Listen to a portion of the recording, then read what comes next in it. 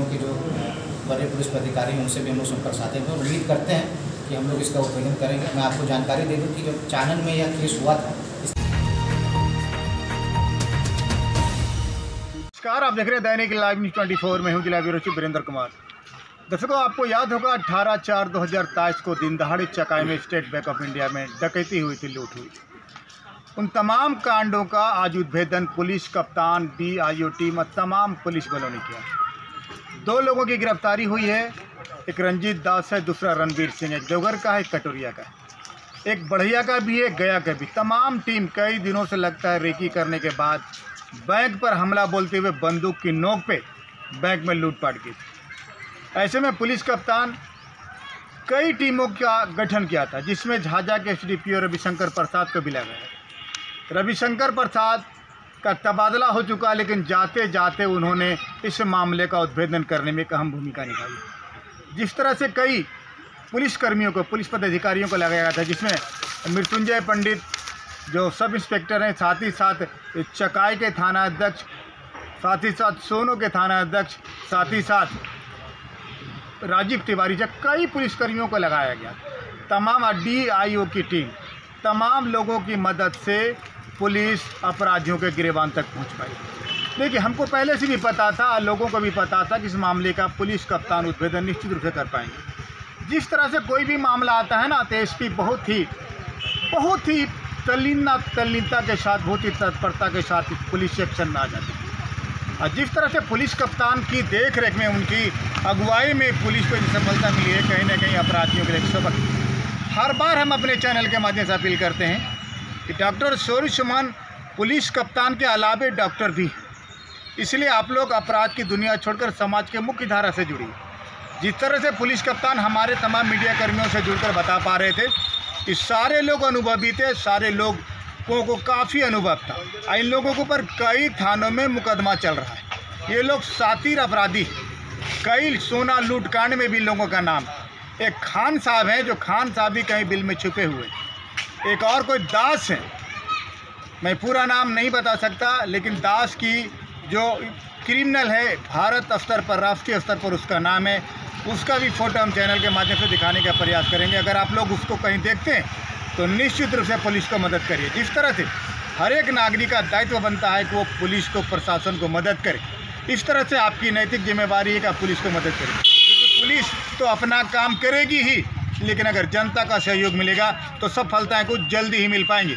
फिर से एक बड़ा दिन जमुई पुलिस कप्तान और जम्मू ज़िले के लिए कहा जा सकता है। वीरेंद्र कुमार के जम्मू से ग्राउंड रिपोर्ट ज़रूर देखिए। बाइक से आए थे और इनके द्वारा लगभग नौ पैंतालीस के समय जब बैंक आपको खुल रहा था, उस समय ये पीछे से घुस गए थे। जैसे ही जो बैंक मैनेजर और जो आपको अकाउंटेंट हैं, वो लोग अंदर घुसे और ये साथ में ये लोग भी घुस गए थे। और उसके बाद इन लोगों ने जितने भी कस्टमर्स आते रहे, वो उनको भी आपको बंधक बना लिया। उनके मोबाइल्स को एक जगह इकट्ठा कर लिया और पूरे षडयंत्र रच के और पूरा प्लानिंग के तहत जो प्रोफेशनल बैंक डकैत्स होते हैं, उसके तहत लोगों ने घटना को अंजाम दिया। उसी के तहत हम लोगों ने आपको अनुसंधान किया और छापेमारी जारी रखी और विगत 48 घंटों में, घटना के 48 घंटों के अंदर हमने जो गैंग है, उसको डिटेक्ट कर लिया था। और ये जो गैंग है, इसका पूर्व में भी आपराधिक इतिहास बांका ज़िले में जो चानन थाना कांड संख्या तेरह, सत्रह है, उसमें भी रहा है और बांका में भी इनका, बांका पीएस में भी इनका आपको आपराधिक इतिहास और साथ में देवघर हो गया और अन्य जो धनबाद हो गई इनमें भी इनका आपराधिक इतिहास रहा है। और ये पहले से ही बहुत ही स्टैब्लिश गैंग है, जो 2016 से ही सक्रिय रहे हैं और जेल से अंदर बाहर आते रहते हैं और इनके द्वारा यह कार्य किया जाता है। इसी संबंध में लगातार छापेमारी आपको कई अन्य ज़िलों में की गई थी। हजारीबाग में भी लोग गए थे।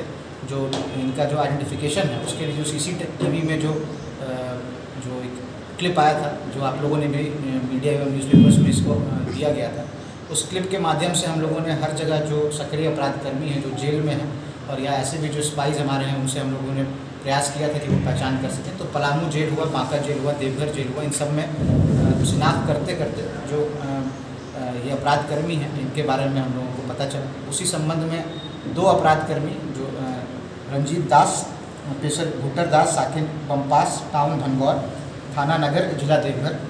रणवीर सिंह उर्फ़ पप्पू सिंह, पिता स्वर्गीय राजेंद्र सिंह, साकिन कटौरिया, थाना के पीछे थाना कटौरिया, जिला बांका।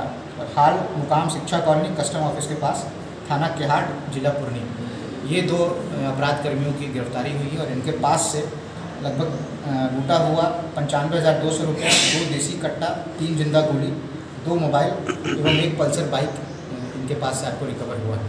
अन्य जो तीन अपराध कर्मी हैं उनके नाम है नसीम खान, जो आपको हज़ारीबाग, बड़ी थाना हज़ारीबाग के रहने वाले हैं। राजेश दास, जो पड़ैया थाना, गया के रहने वाले हैं। और निरंजन दास उर्फ़ सत्येंद्र दास, ये भी आपको गया के रहने वाले हैं। और जो राजेंद्र दास, जिनका आप लोगों ने जो जिन्होंने बैंक मैनेजर को गन पॉइंट पर रखा है सॉरी राजेश दास, ये राजेश दास 24 फरवरी को गया जेल से फरार है। तो इनकी शिनाख्त बैंक मैनेजर और कैशियर ने क्लियरली किया था।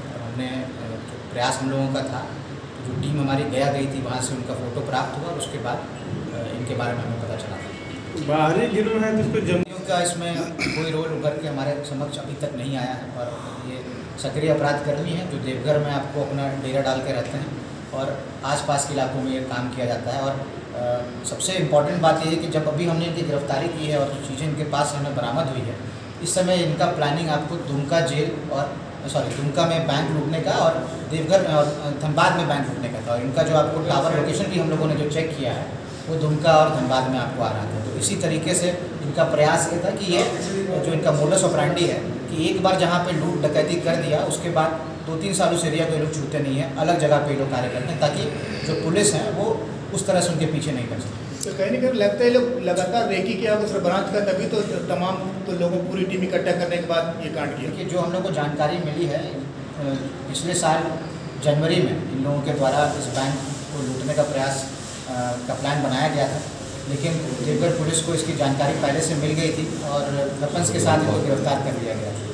इसी का इनको सूचना थी कि 50 लाख वहाँ पे एस चकाई में आपको है। वो भी एक गलत सूचना ही थी, क्योंकि वहाँ पे जो कस्टमर्स उन्होंने अपने बयान में, जिनको इन्होंने बंधक बनाया था, उन्होंने अपने बयान में भी इस चीज़ को बताया कि इनके द्वारा कहा द्वारा कहा जा रहा था कि यहाँ पे तो तीन लाख पंद्रह हज़ार रुपये ही मिले हैं, बाकी पैसे कहाँ चले गए? तो एक तरह से समझ सकते हैं कि अच्छी प्लानिंग इनके द्वारा नहीं रही, इस कारण से ये लोग उस हिसाब से कार्य नहीं कर पाए और जो भी इसमें फरार अपराध कर्मी हम लोग प्रयास में लगे हैं और उम्मीद करते हैं कि जल्दी, जल्द से जल्द इनकी हम लोग गिरफ्तारी करेंगे सर गोल्ड ज्वेलरी और कुछ जो हमें यह प्रतिवेदन एक भेजा गया था जिसमें विगत दस सालों में आसपास के ज़िलों में भी और जमुई में जितने भी कांड हुए हैं, उसके बारे में विस्तृत जानकारी देते जो भी सक्रिय अपराध कर्मी हैं, उनके बारे में पता था तो इसमें आपको एक और जो सीसीटीवी देखेंगे तो उसमें एक रंजीत दास का की पहचान हुई थी। तो रंजीत दास और राजेश दास का जब उन्होंने अपराध का इतिहास इनका खंगाला तो कई केसेस में इनका नाम आया, इनके गैंग के सभी लोगों का आया। उसके बाद धीरे धीरे इन सभी की पहचान हम लोग के द्वारा आपको कर ली गई। तो ये काफ़ी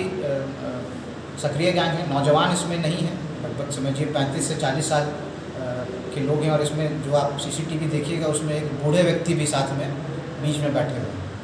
तो उनकी भी हम लोग पहचान करने में लगे हुए हैं कि आखिर ये फिफ्टी ईयर्स प्लस में ऐसा कौन आदमी है जो बैंक डकैती कर रहा है। तो इस तरह माओवादियों को भी टारगेट करके पुलिस जाँच करी थी कर और राजेंद्र और राजेश दास। इन लोगों के द्वारा आपको दी गई मेन राशि, मेन मास्टरमाइंड ये लोग थे, और इन लोगों के द्वारा उसको आपको रखा गया, उनकी लगातार हम छापेमारी कर रहे हैं। जिला अन्य हैं, ज़िले अन्य जिलों के जो बड़े पुलिस अधिकारी हैं, उनसे भी हम लोग संपर्क साधे हैं। उम्मीद करते हैं कि हम लोग इसका उद्भेदन करेंगे। मैं आपको जानकारी दे दूँ कि जब चानन में यह केस हुआ था, इस तरह के इनके द्वारा किया गया था। तो लगभग ढाई महीने के बाद पाँच किलो सोना बरामद से किया गया था बारह से उसका भी आपको, अगर आप पता करेंगे तो उससे जानकारी मिल जाएगी। तो हम उम्मीद करते हैं कि ये लोग आगे अगर कोई ऐसी घटना करेंगे या पूर्व में भी घटनाएँ हुई जिनका उद्भेदन अभी तक नहीं हुआ उनमें भी इनकी संलिप्तता होगी। और जल्द से जल्द इनको पकड़ के और भी सामान रिकवरी करेंगे इन दोनों से अभी क्या कुछ बरामद हुआ है सर? अभी आपको इनके पास से बिरानवे हज़ार पाँच सौ रुपये बरामद हुए हैं और आपको दो देसी कट्टा बरामद हुआ है और गोलियाँ बरामद हुई हैं और इनके साथ एक पल्सर बाइक बरामद हुई है।